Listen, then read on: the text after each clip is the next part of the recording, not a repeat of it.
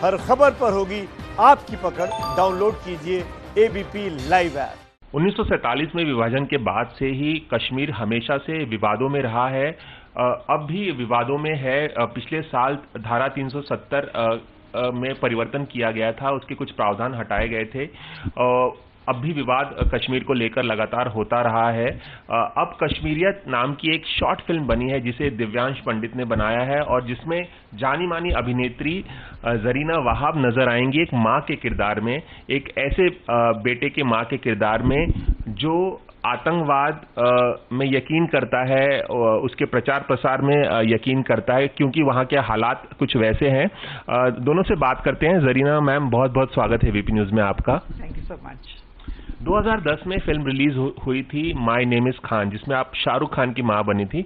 और वो फ़िल्म जो है इस्लामोफोबिया जो होता है जो देश भर दुनिया भर में जो फैल गया था जो अमेरिका में हमला हुआ था ट्विन टावर्स पे उसके बाद जो आ, मुस्लिम लोगों को लेकर खास तौर से लोगों के जहन में जो बात होती है उसे उ, उसमें एक आपने किरदार निभाया था बहुत अच्छा किरदार था आपका। अब एक बार फिर से आप माँ का किरदार निभा रही है इस फ़िल्म में। क्या कुछ खास बताना चाहेंगे इस फ़िल्म के बारे में कश्मीरियत के बारे में? कश्मीरियत जब मुझे दिवेश ने ऑफ़र किया था, मैंने कहा कि शॉर्ट फ़िल्म है, चलो करके देखते लेकिन पहले सुनती हूँ अगर अच्छा लगा तो। जब इन्होंने सुनाया मुझे तो मैं तो मैंने तो सोचा बहुत, मैं करूँगी, hundred percent I will do it so करते वक्त मुझे बहुत मज़ा आया और काफ़ी चीज़ें चीज़ें समझ में आई कि कश्मीर में क्या क्या हो रहा था, जो we were not aware of it लेकिन जो कुछ भी हो रहा था अच्छा नहीं हो रहा था, लेकिन नहीं में बहुत तकलीफ़ हो रही थी जानकर कि ये सब कुछ हुआ है उसमें। और दिमाश ने जितना अच्छा दिखाना है उन्होंने दिखाया। थैंक यू एक माँ के किरदार में आप फिर से नज़र आएँगी। आप अपने किरदार के बारे में और क्या कुछ आप खास बता सकती हैं? थोड़ी हमें स्टोरी लाइन पता है इसकी क्या है फ़िल्म भी आ चुकी है लेकिन आप क्या कुछ खास बताना चाहेंगे? किस चीज़ ने आपको प्रेरित किया कि आप ये किरदार निभाएँ? इस रोल में बहुत इमोशंस भी हैं और बेटे को समझाने की चीज़ें भी हैं और वो जो बेटा कर रहा है वो माँ को पसंद भी नहीं है जो वो कर रहा है। आई I मीन mean, बहुत सारी चीज़ें हैं जो एक as an artist any artist would love to do this kind of rule so that's I I will do it Divyansh आपकी वो कौन सी प्रेरणा थी कि आपको लगा कि 20 मिनट की एक शॉर्ट फ़िल्म बनाई जाए कश्मीरियत के बारे में आ, कहा जाए? क्योंकि ये आ, जो मुद्दा है कश्मीर का हमेशा से विवाद विवादित रहा है। आतंकवाद हो सेनाओं पर भी सवाल उठते रहे हैं वहाँ पर। जो लोकल लोग हैं वो भी काफ़ी वोकल होकर आ, सेना के खिलाफ बोलते रहे हैं। आप आपको क्या लगा कि ये फ़िल्म क्यों बनानी चाहिए? आपके सवाल में ही जवाब है यही सारे कारण थे जिसका एक से एक नैरेटिव जो चलता आया है, जो लोग देखते आए हैं कि हमारी सेना ये कर रही है, वो कर रही है वहाँ, बकवास है। And I say that because I am a Kashmiri myself and मेरे काफ़ी रूट्स हैं वहाँ पर आज भी जम्मू में स्पेशली बिकॉज़ कश्मीर से तो हमारा जितना भी था सब उस तरफ़, सब आफ्टर द जेनोसाइड जो इतनी क्लिनजिंग हुई थी, विभाजन जो हुआ था इतना बड़ा 1990 में।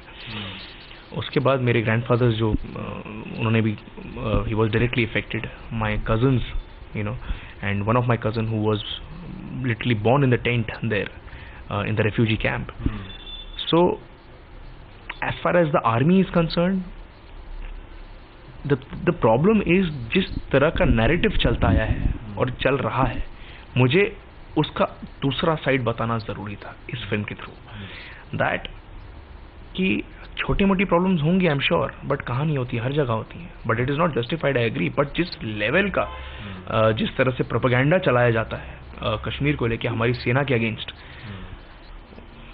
बहुत ही गलत है। और हमने हमारी फ़िल्म के थ्रू वो एक लूप दिखाया है about the brainwashed youth youth को प्रॉब्लम ये कि वहाँ सही चीज़ बताएँ तो समझाएँ तो ये दुनिया जो है, जिस तरह से देख रही है, हमने हमारी फ़िल्म में एक बच्चे के थ्रू वो पूरा सिंबॉलिकली पूरा एक्सप्लेन किया है कि किस तरह से एक ब्रेन वॉश हो जाते हैं लोग और जो दिखाया जाता है वही देखते हैं और वही मानते हैं और ये सालों से चलता आ रहा है। So I want to show the other side which is also the truth and उसके बिना दूसरा जो नरेटिव चल रहा है, इसका कोई मायने नहीं है। सैडली ये जो ट्रूथ है, जो आपको दिखाया जा रहा है आज तक और जो लोग देखते आ रहे हैं, सिर्फ़ ये लोग मान के चल रहे हैं ऐसा ये है। दूसरा साइड के बिना इसका कोई मायने नहीं और दूसरा साइड वो हमने हमारी शॉर्ट फ़िल्म में बताया हमारी शॉर्ट फ़िल्म के थ्रू कि इट्स नॉट सो सिंपल आज़ादी वर्ड आज़ादी बिना कश्मीरी पंडितों की पंडितों की कौन सी आज़ादी? You know we are Indians and Kashmir is very much part of India it will always remain as an integral part of India एक पहलू जम्मू कश्मीर में जो स्थानीय लोग हैं उनकी आज़ादी का के बारे को लेकर है हमेशा से अपने आप को अलग मानते रहे हैं पूरे भारत भारत की अगर बात की जाए। एक मसला कश्मीरी पंडितों का है जो एक्सोडस हुआ था 1989 में जैसे कि दिव्यांश बता रहे हैं उन्होंने कर, करीब से देखा है समझा है। आप क्या मानती हैं कश्मीर का मसला जो है वो कितना जटिल है आपके लिए? आपका पर्सपेक्टिव क्या है ma'am actually to be frank मुझे इसके बारे में इतना इल्म नहीं था। जब मैं दिव्यांश के साथ काम करने लगी then I came to know अच्छा ये सब कुछ हुआ था। एक्चुअली 89 में जो हुआ था वेगली हमने सुना था लेकिन इतने डीपली ये बात थी उतनी समझ नहीं थी उस वक्त मुझे लेकिन आज मैं इस बात को मैं पूरी तरह से समझ सकती हूँ कि काफ़ी परेशानियों से गुजरे हैं लोग। एंड इट्स सैड कोई राय है इस बारे में आप दोनों की कि 300 अ, जो धारा 370 अ, पिछले साल लागू किया उसमें जो परिवर्तन किया गया और उसके एक साल हो गए हैं अभी 5 अगस्त को उसके बारे में कोई राय है अब यूनियन स्टेट बना दिया गया है जम्मू कश्मीर को उसके बारे में आप दोनों की कोई राय है उसके कुछ ज़्यादा नॉलेज है इसके बारे में ऑनेस्टली मुझे इतना नॉलेज नहीं है इस So बारे I'll, I'll take that. I'll take that. Whatever that has happened, first of all, congratulate, congratulate the government.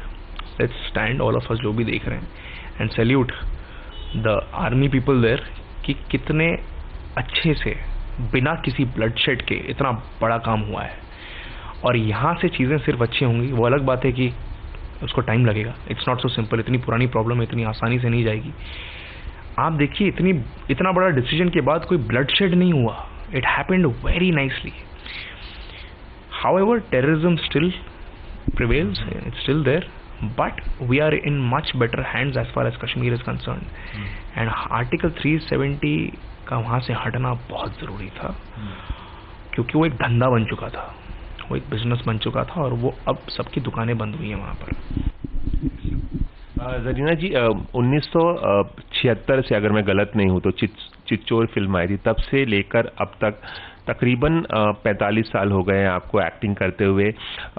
आप बता सकती हैं कि क्या बदलाव आपने इंडस्ट्री में महसूस किया और अपने सफ़र को आप किस तरह से देखती हैं?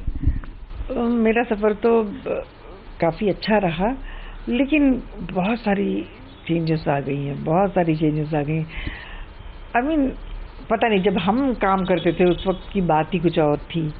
एक फैमिली की तरह हम लोग रहते थे और उस वक्त वैनिटी वैन्स भी नहीं थी। हम लोग साथ में बैठ के खाना खाना और टाइम पर आना, अपने काम को बहुत सीरियसली लेना। आजकल हम अपने सीनियर्स की इतनी इज़्ज़त करते थे, इतनी इज़्ज़त। आज वो बात नहीं रही। I am extremely sorry to say newcomers अच्छे हैं, लेकिन बहुत कम लोग हैं जो न्यू अपने सीनियर्स के बारे में जानते हैं। बहुत सारे लोगों को तो पता भी नहीं है कि ये कौन है ये कौन है ये कौन है। आने के बाद तो शॉट देने के बाद पूछते सॉरी मैम आपका नाम क्या है? यू नो ऐसा होता है। ऐसा होता है? होता है कई बार होता है। हमसे कोई चूक हुई होगी मैम नहीं नहीं नहीं नहीं। आई मीन ऐसा कौन शख्स है जो आपको नहीं जानता है? इंडस्ट्री में मैं जानना चाहूँगा उन लोगों का नाम। एग्ज़ाम्पल दे रही हूँ मैं आपको। ऐसी बात है आजकल। आई I मीन mean, बहुत चेंजेस आ गए। मैं धर्म जी के साथ अभी एक शॉर्ट फ़िल्म कर रही थी मैं। धर्म जी भी वही कर रहे थे। मेरी जैसी बात नहीं है। पहले कुछ माहौल ही कुछ अलग होता था। काफ़ी प्रोफेशनल जैसा हो गया है। वो जो रिश्तों में गर्माहट होती थी सेट पर वो शायद मिसिंग है? बिल्कुल मिसिंग है। सब लोग अपना जैसे शॉट खत्म होता है अपने वैनिटी वैन में चले जाते हैं। उस जमाने में वैनिटी वैन नहीं थी। हम लोग पेड़ों के नीचे ही अपनी कुर्सी लगाकर बैठते थे। And we used to talk and अच्छा माहौल था हम किसी की बुराई नहीं करते थे। अभी आजकल तो लोग पहले बुराई करेंगे बाद में अच्छा ही सोच के करेंगे। चलिए एबीपी न्यूज़ से आप दोनों का बात करने का बहुत बहुत शुक्रिया। हम चाहेंगे कि ज़्यादा से ज़्यादा लोग ये फ़िल्म देखें और इसे सराहना मिले जैसे कि आप लोग उम्मीद कर रहे हैं। Thank you so much and one last thing I would like to say that as responsible citizen kindly let's watch and spread this film as much as we can. और अगर किसी के अंदर गिल्ट होगा उनको इस फ़िल्म का content पसंद नहीं आएगा। I am talking purely content not the creative part of it आप उस पर बिल्कुल क्रिटिसाइज कर सकते हैं लेकिन कंटेंट आई एम श्योर जिस तरह से रिस्पॉन्स आ रहा है बहुत अच्छा है। और जो नेगेटिव रिस्पॉन्स है कहीं ना कहीं गिल्ट है मन में। आई would like to say. I agree with him. Yes. चलिए बहुत बहुत शुक्रिया। कैमरामैन रवि पांचाल के साथ Ravi Jain ABP News Mumbai ABP News आपको रखे आगे।